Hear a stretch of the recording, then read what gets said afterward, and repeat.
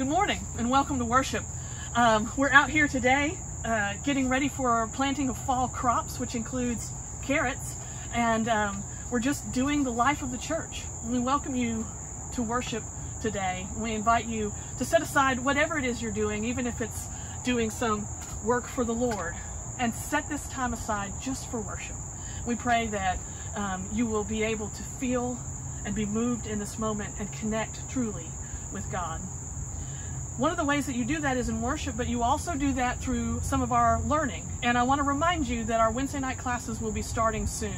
So look for that information in the iBridge and on the Facebook page, and we invite you to join one of our classes this fall. But again, in this time, let's worship.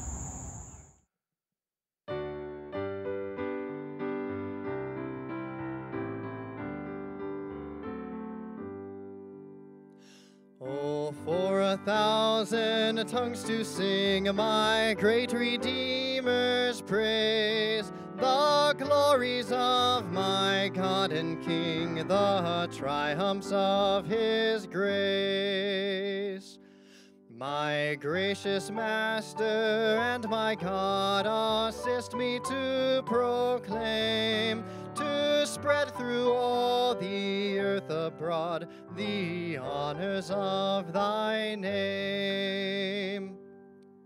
Jesus, the name that charms our fears, that bids our sorrows cease.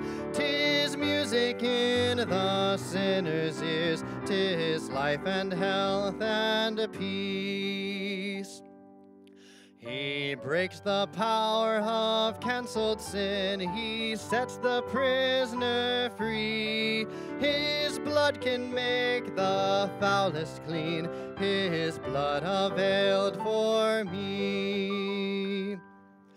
He speaks and listening to his voice, new life the dead receive. Hearts rejoice, the humble poor believe. Hear him, ye deaf, his praise, ye dumb, your loosened tongues employ. Ye blind, behold your Savior come, and leap ye lame for joy. In a Christ your head you then shall know, shall feel your sins forgiven. Anticipate your heaven below, and own that love is heaven. Burks. Our first scripture today comes from Exodus chapter 3, verses 1 through 15. Moses was keeping the flock of his father in law Jethro, the priest of Midian. He led his flock beyond the wilderness and came to Horeb, the mountain of God. There the angel of the Lord appeared to him in a flame of fire out of a bush. He looked, and the bush was blazing, yet it was not consumed. Then Moses said, I must turn aside and look at this great sight, and see why this bush is not burned up. When the Lord saw that he had turned aside to see, God called to him out of the bush, Moses, Moses. And he said, Here I am. Then he said, Come no closer. Remove the sandals from your feet, for this place on which you are standing is holy ground. He said further, I am the God your father, the God of Abraham, the God of Isaac, and the God of Jacob. And Moses hid his face, for he was afraid to look at God. Then the Lord said, I have observed the misery of my people who are in Egypt. I have heard their cry on account of their taskmasters. Indeed, I know their sufferings, and I have come down to deliver them from the Egyptians and to bring them out of the land to a good and broad land, a land flowing with milk and honey, to the country of the Canaanites, the Hittites, the Amorites, the Perizzites, the Hivites, and the Jebusites. The cry of the Israelites has now come to me. I have also seen how the Egyptians oppress them. So come, I will send you to Pharaoh to bring my people, the Israelites, out of Egypt. But Moses said to God, Who am I that I should go to Pharaoh and bring the Israelites out of Egypt? He said, I will be with you, and this shall be the sign for you that it is I who sent you. When you have brought the people out of Egypt, you shall worship God on this mountain. But Moses said to God, If I come to the Israelites and say to them, The God of your ancestors has sent me to you, and they ask me, What is his name? What shall I say to them? God said to Moses, I am who I am. He said further, Thus you shall say to the Israelites, I am has sent me to you. God also said to Moses, Thus you shall say to the Israelites, The Lord, the God of your ancestors, the God of Abraham, the God of Isaac, and the God of Jacob has sent me to you. This is my name forever, and this is my title for all generations. This is the word of God for the people of God. Thanks be to God. Hey friends, it's Mini Jam. I'm so excited and I've been praying for you. And I've been enjoying um, the pictures you've been putting on Facebook of you praying and reading scripture with your pets. You guys are doing such a good job.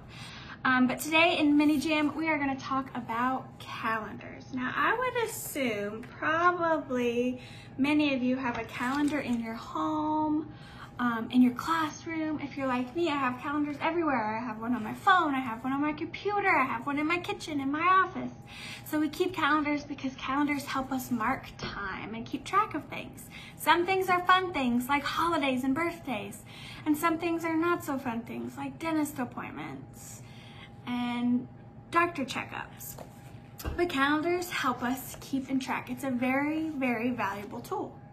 But an expired calendar is really no good, right? Because the dates in the calendar have already happened. It's all in the past. Just like in a few months, this calendar will be useless. If you've been to a store recently, you've seen that they've already got 2021 calendars for sale. When calendars expire, there's no use for them and all the ones at the store, they all go into the trash because nobody would want to buy and nobody would really want to keep an expired calendar. No one thinks of keeping an expired calendar in their home, but many times we keep memories of our past mistakes, don't we? I know I do. If this calendar had all my past mistakes in it, I wouldn't be showing it to you. I would be too embarrassed. There's all things we wish we hadn't have done or we wish we could have do it, done it differently, or all over again. But because we believe in Jesus, you know what? The Bible says we don't have to worry about our past mistakes and our past sins. Jesus takes our sins away. And Psalm 103:12 says, As far as the east is from the west, so far has he removed our transgressions from us. And our transgressions are just a very big fancy word for our sins because we've all sinned. We all feel bad about some of the things that we've done. So, just like an expired calendar, Jesus has forgiven us. And just like this expired calendar, we can throw it away and we cannot worry about it anymore. Just like this is a new school year. If you had some trouble with maybe friends or schoolwork in the past school year, this is a new school year. This is a time to stop thinking about your past mistakes and working towards your future and doing the best that you can do. So my challenge for you is to give Jesus all this worry or past mistakes that you're holding on to, give it to Him because He wants to take it from you and He wants to throw it as far as the east is from the west. That's super far. They never touch. So, my challenge for you is to just give all those to God, and He wants you to be free of that and start in your new calendar, your new future, and your new ideas. So, I hope you guys um, enjoy this song next and I hope I see you moving and grooving at home. And I hope I see you moving and grooving in the drive-in church service. I'll see you soon.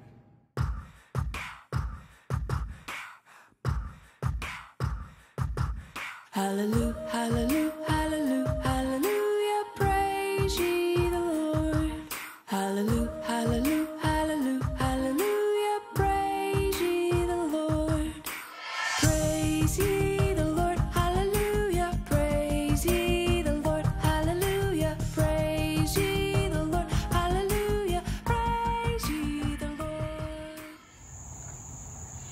come to a time of offering, I remind you that sometimes what we offer to the Lord is work with our hands. Uh, you can't see it, but Rachel is covered in dirt right now and working hard um, to make sure that we are offering everything that we can to the Lord.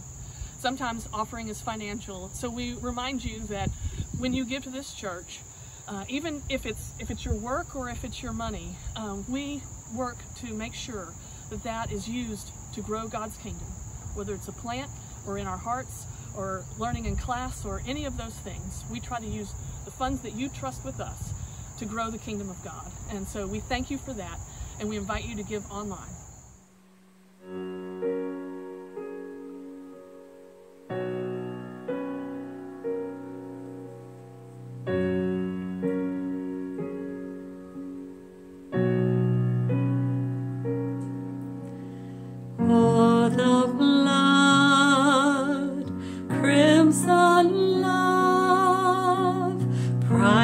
Price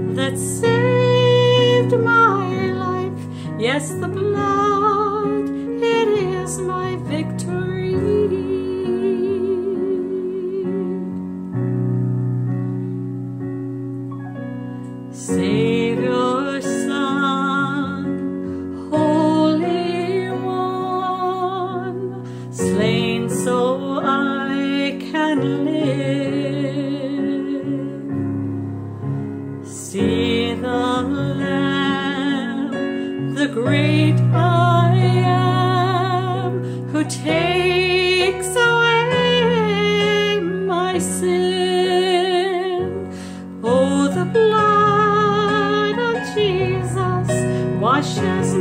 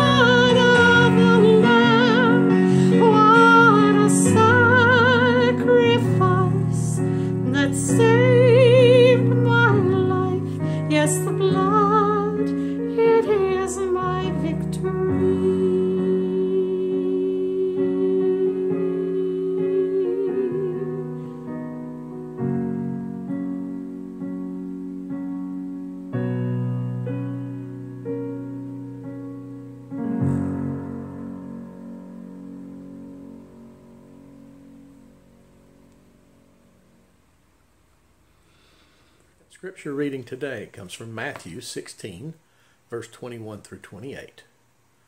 From that time on, Jesus began to show his disciples that he must go to Jerusalem and undergo great suffering at the hands of the elders, chief priests, and scribes, and be killed and on the third day raised. And Peter took him aside and began to rebuke him, saying, God forbid it, Lord. This must never happen to you. But he turned and said to Peter, Get behind me, Satan. You are a stumbling block to me, for you are setting your mind on not on divine things, but on human things. Then Jesus told his disciples, If any want to become my followers, let them deny themselves and take up their cross and follow me. For those who want to save their life will lose it, and those who lose their life for my sake will find it. For what will it profit them if they gain the whole world but forfeit their life? Or what will they give in return for their life? For the Son of Man is come with angels in the glory of his Father, and then he will repay everyone for what has been done. Truly I tell you, there are some standing here who will not taste death before they see the Son of Man, coming in his kingdom. This is the word of God for the people of God. Thanks be to God. Good morning. You've already heard the scripture lessons read this morning.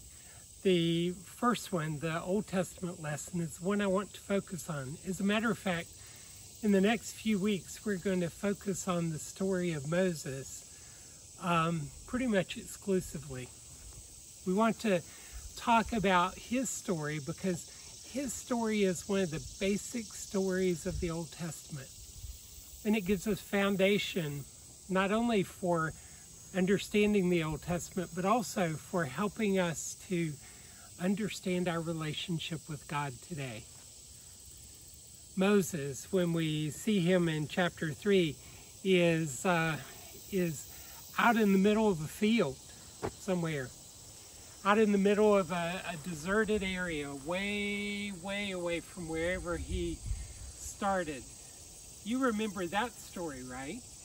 He started at a time of great upheaval in the country of Egypt, and, and he was saved through the miraculous actions of his, his mother and his sister and, and God, who protected him and who brought him to a place where he could survive. And he grew up not not in a, a small hut with his his parents, but but he grew up in the palace, the very palace of Egypt, and and there he was prepared for lots and lots of things. But then things kind of went wrong, and we don't have a lot of detail. We we just know that that he kept seeing things that were wrong in his life, and and he he started pushing back against those. And one day he pushed too far, and he accidentally or on purpose killed somebody. And he had to run, run for his life, run run just willy-nilly out into the world and, and try to find a place where he could he could survive and live. And over a long period of time, even though some things went right, he, he found a, a woman to share his life. He found a, a father-in-law who was a good guide and, and who helped him to understand what uh, life was about and who gave him a place to live. Here he was, 40 years later, in the middle of a field with a bunch of sheep and nobody else. It's kind of funny when we when we uh, read this story. How bored do you have to be to look at a bush that's on fire long enough to realize that it's not actually being consumed by the fire. I thought a lot about what that meant. Does it mean there's no smoke coming from it? Does it mean that that it's just standing there? But from a long distance, he saw it, and he looked at it long enough that he finally said, "I got to go take a look at this thing." And as he approaches, he hears a voice. Now this has already got to be a little bit spooky when he's approaching something that he doesn't understand. And then to hear a voice out of nowhere, then that's got to feel really weird. And as he hears that voice, that says, Take your shoes off. You're on holy ground. Well, yeah, this is beautiful. It, it's beautiful to be in a place that, that's kind of off by itself. And, and yes, there's a sacredness to the wilderness um, wherever you are. But he took his shoes off. And he heard the voice again, and the voice began to tell him that, that the voice belonged to God and that he was the God of Moses' forefathers, the God of Abraham and Isaac and Jacob, the God that Moses hadn't even really even heard of before. But that God was coming to find him there in the wilderness. We always think of this story as being this huge drama, and there have been there have been great movies uh, done about it. The one with Yul Brynner, and and you know they and Charlton Heston as Moses, and and they're out in the middle of the wilderness. It was a, a great production. I really loved it in the early version where they they had an airplane that was flying across the corner of the screen that nobody remembered to cut out. There have also been cartoon versions of this, uh, animated versions like The Prince of Egypt, which is a really fine uh, retelling of the story. And, and it comes with songs that you can sing along with at the same time. But it's not just this magnificent, huge story like we we think. Yes, the, the save my people and, and let my people go story that we all know. It's also a story about personal salvation. The themes of, of the book of Exodus are, are that God hears and God saves and then God calls. God hears wherever you are. He hears the groaning of his people. And in Egypt at that time, the, the people were being, were being made into slaves, whereas they had originally been uh, a people that lived there and prospered and, and, and lived next to the Egyptians. Now they were seen as people to be feared. And so they were made into slaves by force. And here in the midst of their slavery, even though they're not considered people anymore, God hears them and God comes to save them. But there's also another cry that we don't ever really talk about. We always think of Moses as, as uh, you know, growing up in the castle and then he's leading all the people, but we forget the 40 years in the middle where he's just lost in the wilderness. And I think one of the most important parts of the story is to realize is that God doesn't just hear great big huge groups of people. God doesn't just hear those that um, have that are big enough to get some sort of political clout. But he hears the individual person whose heart is breaking as well. Here's Moses, someone who was educated well, someone who was raised well, someone who, who had all kinds of potential.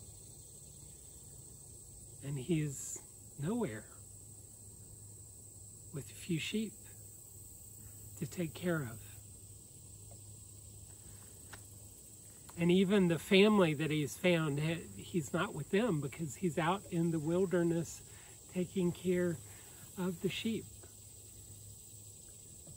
We don't know how many nights he cried out to God or cried out to the universe or cried out just in his sleep, wondering how in the world did I get here?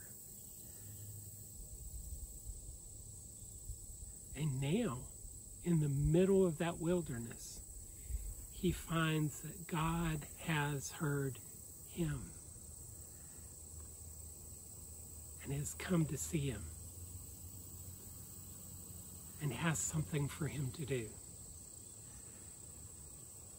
To know that God exists and God cares about you, regardless of where you are in the world, regardless of if you're the highest uh, office in the land or, or you're the, the least person that anybody can think of.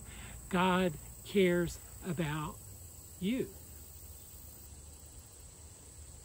And God can speak to you, maybe not in a burning bush, maybe not in a, some sort of miraculous way, but that God does care about you. It says so all through the Old Testament and the New Testament God's love, God's everlasting love. God's steadfast love is always with you, even when you're in the wilderness.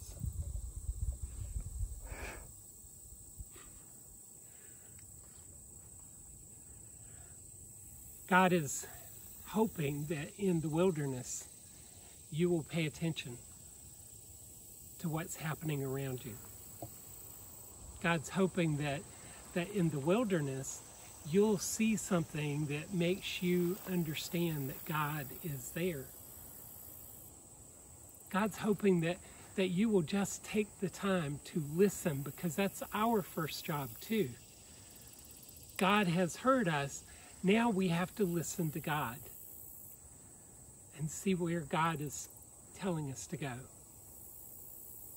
It doesn't matter if you've been a member of the church for uh, for 150 years, or, or if you've never set foot inside a church, if you know all your scriptures by heart, or if you can't even find the New Testament from the Old Testament, it doesn't matter.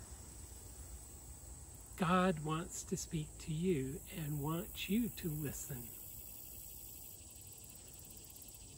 And then the second thing is that God saves yes, God saved the people of Israel, and it's a, it's a wonderful, beautiful story. We'll look at that. But, but God also saves the individual person off by themselves somewhere who needs to feel the, the presence and the safety of God's, God's everlasting love.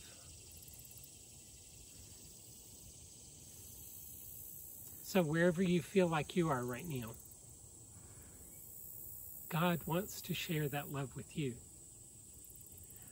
Wherever you find yourself, whatever problems that you have, or, or, or whatever things that you want to share, God is willing to listen to you. But then God also asks you to listen to God.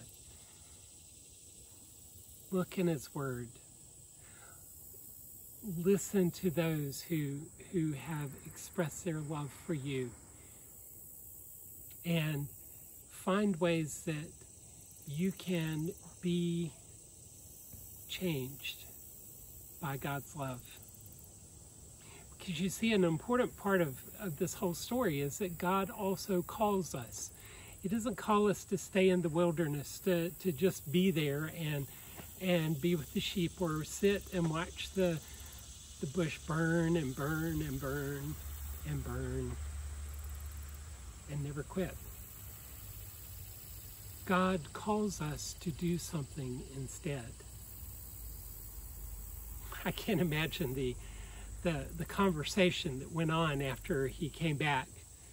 He came back to his father-in-law and to his wife and his children and, and said, I saw God out on the mountain. I saw God on the mountain, and God said that I'm supposed to go back to Egypt and help set others free. Somebody probably reminded him that he was wanted in Egypt, that people were maybe still looking for him even after 40 years. But if they saw him, if they were actually saw him there, somebody might recognize him and remember that he's the one that killed the guard. And they would say, This isn't a good idea. I'm sure that some of them would say, Are you sure this was God? You didn't eat something bad and have a nightmare. Are you sure? however that conversation went, however that conversation went, it would lead Moses back to Egypt. He got called to do something. He, he says when, when God spoke to him the first time, he says, I am here. He wasn't the only one ever to say that. Isaiah said it, the disciples said it, other people said it throughout history.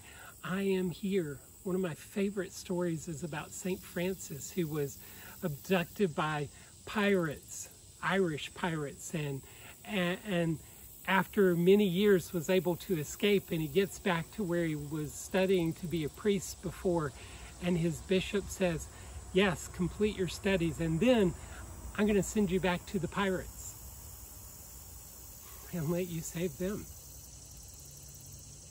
It's just like this story. I'm going to send you back to do something amazing. But you're going to do it the amazing thing not because you're moses but because i am God. And that's where we get the name.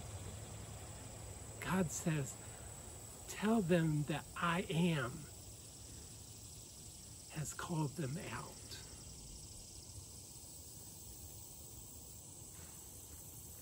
Moses goes forth, and we'll talk about that more next week. And, and, and things happen, and and, as they happen, he grows more and more present with God as he does God's will. The gospel lesson today is a, a powerful time where God is saying, or Jesus is saying to the disciples, we're going to go back to Jerusalem. And some bad things are going to happen there. But through this, I am going to be able to save so many people.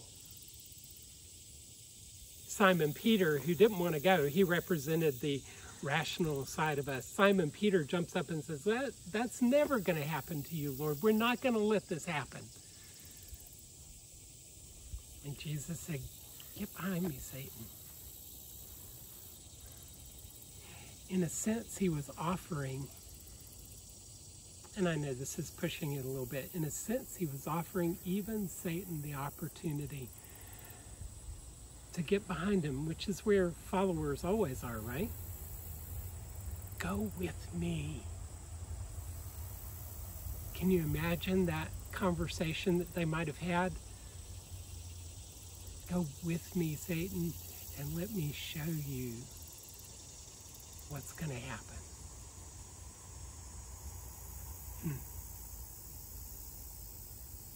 If even Satan can get that kind of invitation, and so can we.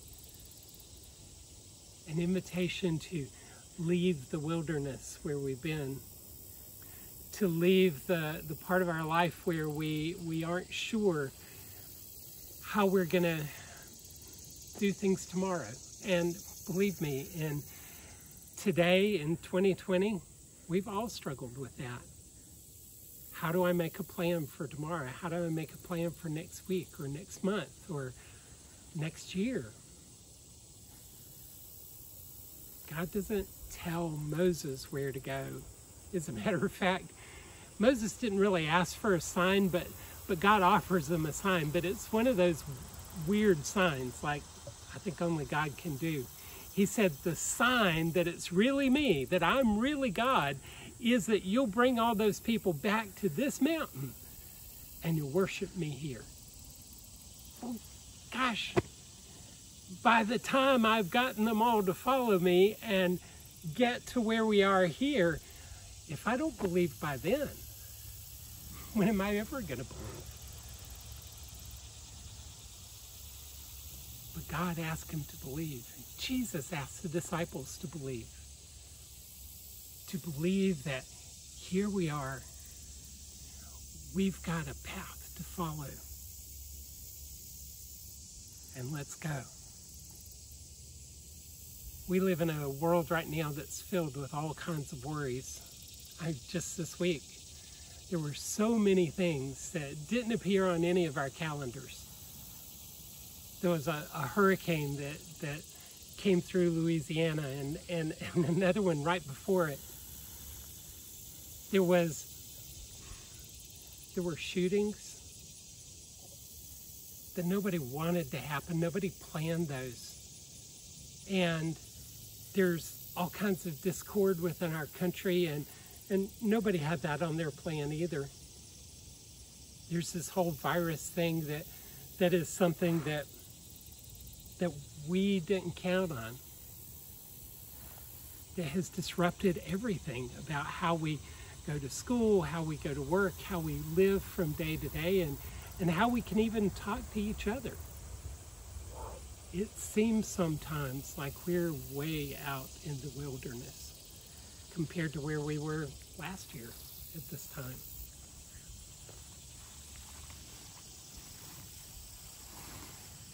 But I think the answer is still the same. The answer is we still have to hear what God is saying and we have to start following. We may not know where we're going or how we're going to get there or even when we get there. But we have to take that first step to go. Of all the steps that Moses took, that was the most important. The one where he decided, I'm going to follow what God has told me to do. And I'm going to trust God to lead the way. I want to invite you to do the same thing. To listen today to what God is saying in your heart. To, to ask God to work on those parts of you that, that maybe need refining. Those parts that hopefully during the, the 40 years that Moses was in the wilderness or, or with his new people in Midian, the parts that had developed and become stronger. You need to ask God to help you do that, to develop and become stronger as His disciple. So I'm going to ask you today to make a commitment. Even with all the craziness going on around us in the world, even in the midst of all of that, God still hears and God still saves. And God calls you to step on the path with Him.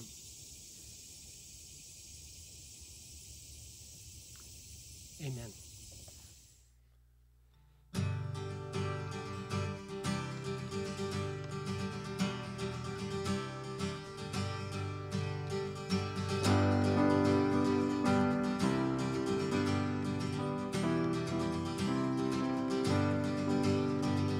This is our hope, this is our peace, faithful is our God.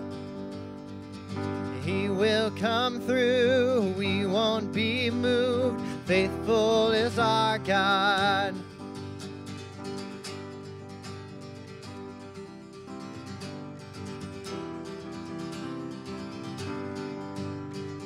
This is our strength, this is our shield, faithful is our God. He cannot fail, we will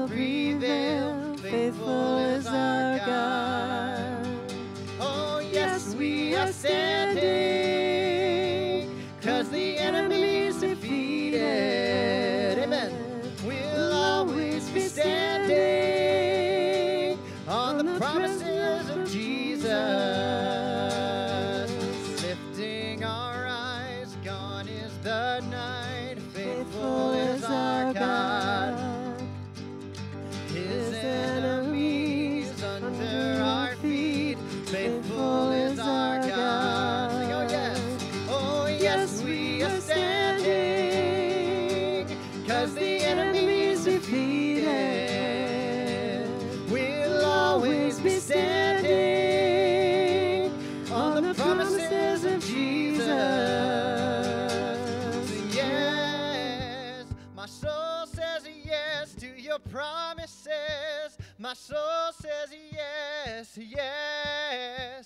My soul says yes. My soul says yes to your promises.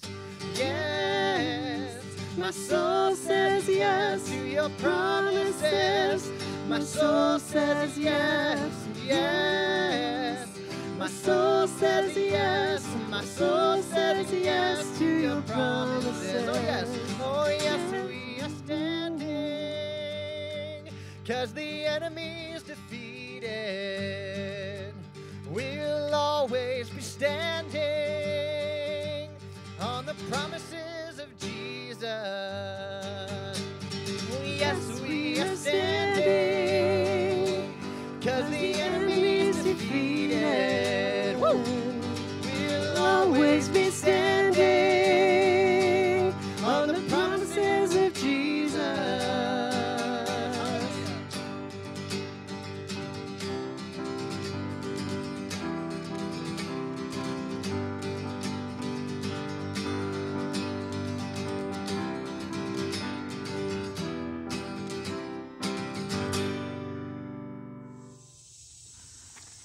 So our mission this week is to start start.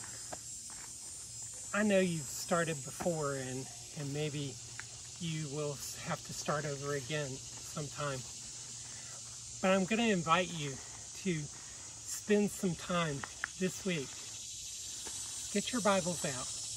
Find the book of Exodus. Start reading the, the first chapter. I'm going to invite you to read a couple of chapters a day. If you can do that, you'll more than keep up with us for the next few weeks and you'll know the story about Moses, but you'll also see the miraculous, amazing work of God in his life. And the, the thing that I want you to see is that, that God found Moses way out in the wilderness. God can find you where you are. And God's love for you is immense, just like it was for Moses. Come and join us on the path. Join us in Bible studies on Wednesday night. Join us in worship. Join us in sharing the good news in this place where we are and wherever God leads us. Amen.